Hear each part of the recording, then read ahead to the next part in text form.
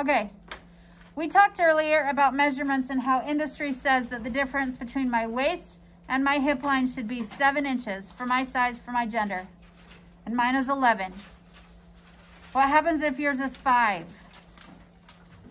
We're gonna assume yours is five. So we need to shorten this skirt, but we need to shorten it from waist to hip, not in length.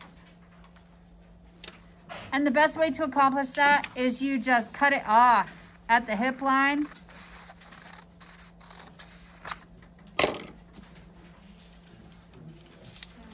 And you reattach. Now when I do that, if I'm shortening, I actually overlap it this way. We are shortening a half of an inch. And the reason I do it that way is because I need the new hip line to be in the new spot. If we shortened this and I left my original hip line, then I haven't changed anything. So I need my hip line to be half an inch higher. So this is my new hip line. I have just overlapped it a half of an inch. And that's it. The alteration's finished. Is that the front?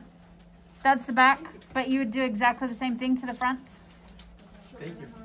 Uh-huh. Now, as you can see on the back, I have not impacted my darts at all. Nothing is impacted except for my hip line has moved up half an inch. And the skirt has gotten shorter, that half an inch. That's it. I know, isn't that lovely? Now, if you do the front, you do exactly the same because they have to match down the side seam. They have to be exactly the same down the side seam. What number is this? This is number 12. And 13. 12 and 13. 13 will be the front. Okay, now on your paper, it says that the shorten at hip lines, both front and back, and the lengthen at hip lines, front and back. Talk about pivot method, talk about seam method, all of that. That is way too much work.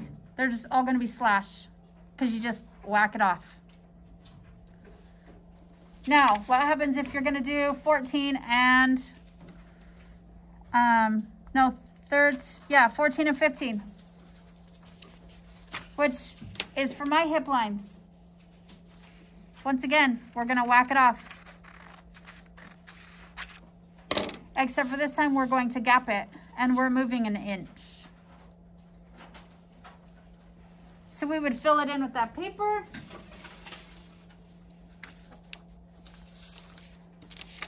I need paper I can cut. Sorry, folks.